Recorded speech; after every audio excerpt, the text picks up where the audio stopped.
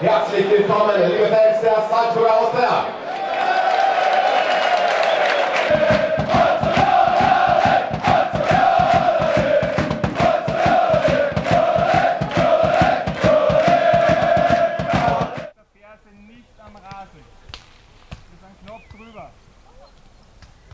Schauen wir, dass wir schön die Linie halten. Kann man das Bein absenken. Abgesenkte Bein. Bleibt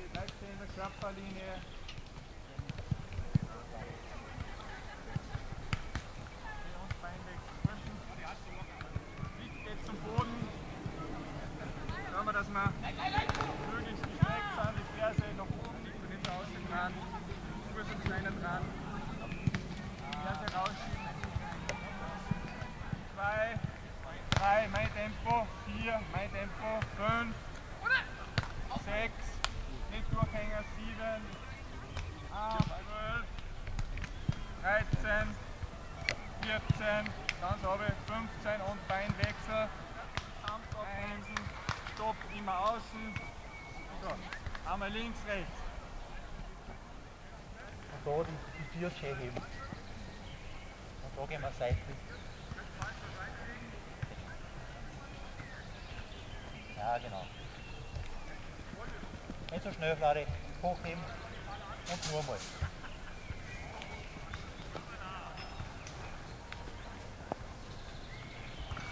Ja, genau. Und wieder seitlich. Anna, du musst für diese abwehren. Wenn der Ball zurückkommt, wird er ab. Wenn er nicht zurückkommt, dann die nächste Ansätze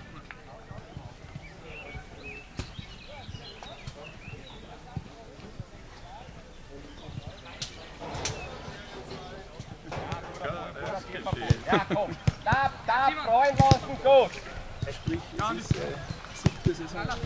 Andi, Ja, und geht er. Ja, schärfer, schärfer, bleiben. Ja. Ja, trau dich rauf, ich bin links. Fort rauf, fort rauf. Schärfer auf Ball sein. Da, da, und hier. Ja, aufpassen. Geht, nächste geht wieder. Komm. Ja, auf. Junge. Ja,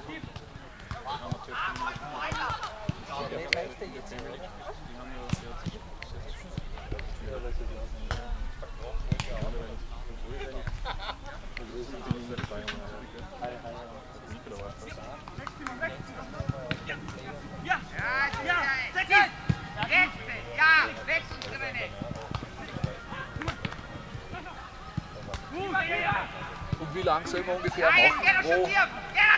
Interview? Ja, ich möchte äh, sehr herzlich Klaus Schmidt bei der Austria begrüßen und ein kurzes Interview zum Trainingsauftakt mit ihm führen. Du bist ja jetzt seit einigen Tagen oder Wochen, kann man schon fast sagen, bei der Austria. Was sind so die ersten Eindrücke? Man kann sicher jetzt noch nichts über die Spiele endgültig sagen, aber was ist so über das Umfeld und, und einfach deine Eindrücke zur Austria bisher? Ja, äh, erstens einmal bin ich sehr stolz, Austria Salzburg Trainer zu sein und das erste Training bestätigt eigentlich meine Erwartungen, die ich in diesen letzten zwei, drei Wochen, wo ich eben im Amt bin, äh, er- erhofft habe und äh, die Mannschaft arbeitet wunderbar mit. Das sind jetzt so die heutigen Eindrücke vom, vom Training. Äh, was mir sehr, sehr imponiert, ist die ganze Geschichte mit, mit den Kaderplanungen, wie äh, professionell das von den Seiten der Funktionären an, an die Kaderplanung herangegangen worden ist, wie versucht worden ist, einen homogenen Kader äh, in, wieder aufzustellen oder einen, einen wettkampffähigen Kader aufzustellen. Und heute war der erste Eindruck auch von den Spielern noch einmal gesagt wirklich positiv und äh, ich habe eine Riesenfreude, dass ich da bin. Ko- Kommen wir damit gleich zum Kader. Also es gibt ja vielleicht noch einen Neuzugang, wie man zumindest den Medien entnehmen hat können. Kannst du uns schon mehr darüber sagen oder ist das noch in der Schwebe? Ja, ähm, wir warten im Prinzip noch auf, auf Details, dass die geklärt werden. Ähm, ich hoffe, dass der Spieler, der Ibrahim Bingel, äh, ist ja kein Geheimnis mehr, äh, bald oder am Freitag zu uns stoßen wird und dass äh, er uns da unterstützen wird und verstärken wird. Ich bin davon überzeugt, dass er sehr gut ins Mannschaftsgefüge passen wird. Der Kader ist jetzt sehr groß, habe ich halt den Eindruck gehabt, gewonnen beim, beim ersten Training. Man, man sagt natürlich immer, ein großer Kader hat Vorteile, weil natürlich Ausfälle kompensiert werden können. Aber kann es nicht auch problematisch sein, wenn dann natürlich viele Spieler enttäuscht sind, wenn sie nicht spielen werden in Zukunft? Ja, äh, jeder Spieler, der da unterschrieben hat oder der sich eben, äh, der davon überzeugt war, äh, Spieler von Austria Salzburg zu werden, ist sich eines gesunden Konkurrenzkampfs bewusst. Und äh, das ist, kann jedem Trainer nur recht sein, wenn er sagt, äh, er hat auf jeder Position eine Doppelbesetzung und äh, die Spieler sollen sich das da äh, beim Training ausmachen und jeder Spieler weiß aber auch, dass er einmal vielleicht zurückstecken muss und, und einmal vielleicht die eine oder andere Runde warten muss, um, auf, um, auf, um Einsatzminuten zu kämpfen. Wie wird es mit dem Spielsystem ausschauen? Also du wirst uns jetzt sicher nicht alle Details verraten können und wollen, aber, aber wird es da größere Umstellungen geben? Du hast ja die Austria letztes Jahr einige Male beobachtet. Kann man das sagen, ob es Umstellungen geben wird vom Spielsystem her? Ähm, ich werde mich jetzt in den nächsten ein, zwei Wochen mit, dem, mit den Spielern, die sind, äh, intensiv am Training auseinandersetzen und ich bin der Meinung, dass man ein Spielsystem so äh, formen muss, wie es optimal zu den den Spielern passt. Und da werden wir jetzt einmal, so wie heute bereits einmal, die ersten Eindrücke gemeinsam verarbeiten und dann schauen, was dann am Ende des Tages oder am, am 12. 13. Juli, wenn die erste FB Cup Runde ist, dort ist einmal die erste äh, wirkliche Entscheidung, wo, was wir wert sind und bis dorthin werden wir schauen, dass wir was Gescheites zusammenbringen. Kommen wir noch zur Länge der Vorbereitung, die ja doch relativ kurz ist, weil es, du hast das gerade gesagt, es geht ja schon relativ bald wieder los. Wie schaut es da aus äh, von, von konditionellen Aufbau? Kann man ja wahrscheinlich nicht allzu viel machen. Die Spieler sind vielleicht noch ganz gut bei Kondition von der Vorsaison, aber wie schaut es ungefähr aus? Weil du wirst ja doch sicher taktisch auch einiges Neues machen. Ja, na, wie du schon sagst, das ist sicher schwierig, das jetzt da äh, überall einen goldenen Mittelweg zu finden, weil eine Optimallösung wird es im Sommer sowieso nicht geben.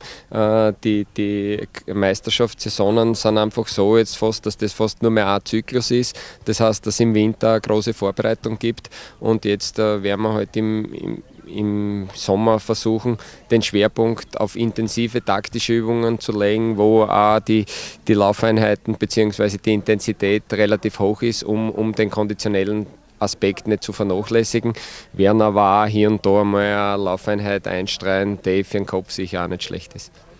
Wie schaut es aus mit der sprachlichen Anpassung? Ich habe jetzt beim Training einige Anweisungen, muss ich gestehen, nicht ganz richtig verstanden vielleicht. Also, und wie geht es dir vor allem mit dem Salzburger Dialekt, der vielleicht nicht so schwer zu verstehen ist wie der steirische Dialekt? Ja, äh, ich glaube auch, dass der Präsident äh, ein ausschlaggebender Punkt war, dass der Präsident den steirischen Dialekt äh, nicht ganz abgeneigt ist und deswegen werde ich den auch beibehalten. Also ich hoffe, dass sie die Spieler auf meinen Dialekt einstellen können und ich habe natürlich mit dem Salzburger Dialekt ich keine Probleme, weil ja, äh, der, wie du schon gesagt hast, wahrscheinlich ein bisschen einfacher zu verstehen ist als, als der meinige. Abschließende Frage, passend zur WM, wer ist dein WM-Favorit? Ähm, bis äh, vorige Woche habe ich zwei Südamerikaner als Favoriten gehabt, das war Brasilien und Argentinien. Äh, mittlerweile glaube ich auch, dass die Europäer gewichtiges Wörtchen mitrennen werden und hätte sogar vielleicht äh, Frankreich als Geheimtipp ähm, auf der Rechnung, aber das weiß ich nicht, ob ich mit da ein bisschen zweit auslande. Okay, danke Klaus Schmidt für das erste Interview bei der Austria oder zumindest für das erste längere Interview und wir hoffen alle auf eine erfolgreiche Saison. Dankeschön. Danke. Ja, wir sind hier beim Trainingsauftakt noch immer bei der Austria. Bei mir steht der Nico Meyer, der ja der, eigentlich der älteste Spieler, zumindest nach Dienstjahren bei der Austria ist, glaube ich zumindest. Nico, du wirst mir berichtigen, wenn es nicht stimmt, aber ich glaube, das ist die siebte Saison jetzt.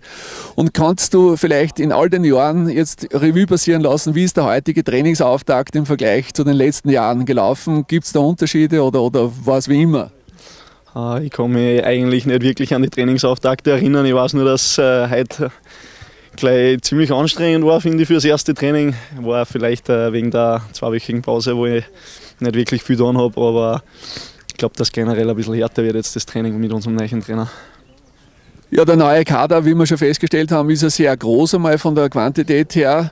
Wie siehst du das, mit so einem großen Kader in die Saison zu gehen? Hat Vorteile, wie wir wissen, aber es kann natürlich vielleicht auch manchmal ein Nachteil sein, nämlich für die, die nicht spielen. Ja, richtig, wie du schon sagst, das äh, hat Vorteile und Nachteile.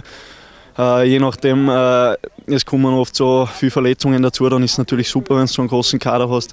Andererseits kann es da passieren, dass du viele unzufriedene Spieler hast. Aber wir haben es bis jetzt eigentlich äh, so gut wie immer zusammengebracht bei der Austria, dass äh, fast jeder zufrieden ist und dass wir ein super Mannschaftsklima haben und das werden wir heuer auch wieder schaffen. Wie schaut es eigentlich aus generell in der Mannschaft? Ist die Enttäuschung noch vorhanden über den verpassten Aufstieg in die erste Liga oder, oder ist das schon vollkommen abgehakt und schaut schon jeder nach vorne wieder?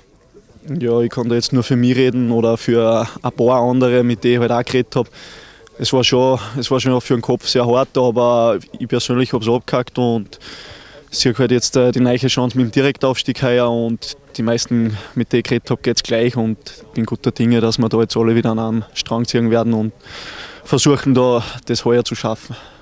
Von den neuen Mitspielern, von den neuen Kaderspielern, hast du da früher mit manchen zusammengespielt schon oder, oder auch in der Jugendzeit vielleicht? Na, von den Neichen kenne ich keinen persönlich. Also wie der Nico Wavrosek, gegen den wir schon öfter gespielt haben, oder ein Hasanovic, der auch nicht gespielt hat, kennt man so als Gegenspieler, aber als Mitspieler lerne ich es alle jetzt nicht kennen. Dann auch an dich die abschließende Frage: Wer ist dein WM-Favorit? Costa Rica. Haben mich bis jetzt am meisten überzeugt. Okay, danke Nico. Alles Gute für die neue Saison. Danke. Ja, ich begrüße jetzt auch Andreas Bammer, den Neuzugang bei der Austria. Er ist ja seit wenigen Tagen oder man kann eigentlich sagen fast nur wenige Stunden bei der Austria. Wie war es in den ersten Stunden bei der Austria? Gibt es da irgendwas Besonderes, was dir aufgefallen ist oder, oder war es eigentlich wie bei jedem Verein die erste, das erste Training? Äh, ja, ich bin erst seit wenigen Stunden, sage ich mal, bei der Austria jetzt bisschen was war schon anders. Es haben sie, ich habe relativ viele Wortmeldungen von Bekannten gekriegt und es haben sich relativ viele Leute für mich gefreut, dass ich jetzt wieder beim Verein spiele. Mit, mit Fans und Tradition, wo sie auch gerne zuschauen, kommen wieder meine Freunde. Also es war relativ positiv, ist das aufgenommen worden in meinem ganzen Bekanntenkreis der Wechsel. Der Trainingsauftakt war wie bei den meisten Trainings. Am Anfang blockt man es immer recht, muss man mit mit dem Ball erst wieder per Du werden. Jetzt habe ich doch vier Wochen Pause gehabt, muss man wieder reinkommen, aber da machen wir keine Sorgen. Du hast in den letzten Jahren, warst du praktisch immer Profi und hast natürlich da, dahingehend auch, auch wie ein Profi trainiert. Das heißt, es ist äh, wahrscheinlich täglich zweimal trainiert worden. Wie siehst du das jetzt, die Umstellung äh, zur Austria? Weil ich nehme mal an, dass nicht zweimal pro Tag trainiert wird. Äh, Gibt es für dich vielleicht Probleme, weil du einfach mehr Training gewohnt bist oder wie siehst du das? Na, glaube ich nicht wirklich. Es ist ja geplant, dass wir sogar teilweise zweimal am Tag trainieren, die die was Zeit haben. Äh, die Trainings sind wegen dem trotzdem intensiv und man hat jeden Tag zweimal trainiert. Also das Umfeld ist sehr gut, die Bedingungen sind echt sehr, sehr gut. Es ist für eine Regionalliga-Mannschaft echt top und ist auch mehrwürdig. Also ich glaube, da ist die Umstellung nicht so groß äh, einen Profibetrieb, weil das Training auch sehr professionell gemacht wird und die Intensität da dementsprechend sein wird. Ich nehme an, du hast die Austria auch in den letzten ein, zwei Jahren verfolgt, vielleicht auch das ein oder andere Spiel gesehen. Kennst du äh, oder hast du früher mit Spielern gespielt, die jetzt bei der Austria spielen oder, oder vielleicht auch im, im Jugendbereich? Ja, es gibt ein paar, aber das ist nur von Anif, mit ich schon mal zusammengespielt habe, wie das eineinhalb Jahre bei Anif war. Da kenne ich ein paar, mit ich schon zusammengespielt habe, aber sonst eigentlich nicht. Aber ich bin immer wieder mal am Austriaplatz gegangen und habe mir ein Spiel angeschaut, die letzten zwei Jahre, seitdem ich schon in Salzburg bin. Und äh, du spielst ja höchstwahrscheinlich, nehme ich an, obwohl das werden wir dem Trainer nicht vorwegnehmen, aber nehme an, du spielst als Stürmer, weil das ist ja deine angestammte Position. Was sind da deine Erwartungen, auch was, was Tore betrifft? Natürlich, ein Stürmer möchte immer viele Tore schießen, aber, aber gibt es realistische Ziele für die kommende Saison? Ja, realistisches Ziel für die kommende Saison für mich persönlich gibt es nicht. Das Einzige, was mich interessiert, ist, dass der Aufstieg gemacht wird und ich mag meinen Beitrag dazu leisten, ob das mit Assists oder mit Tore ist oder einfach mit, mit Kampfgeist. Ist mir ganz egal. Wichtig ist, dass wir aufsteigen und da stecke ich mir selber keine persönlichen Ziele. Auch hier meine abschließende Frage, passend zur WM. Wer ist dein WM-Favorit? Äh, Deutschland. Ich hilft zu Deutschland und bin auch überzeugt, dass die Deutschen gewinnen. Okay, dann danke Andreas Bammer. Alles Gute bei der Austria und alles Gute für die kommende Saison. Danke.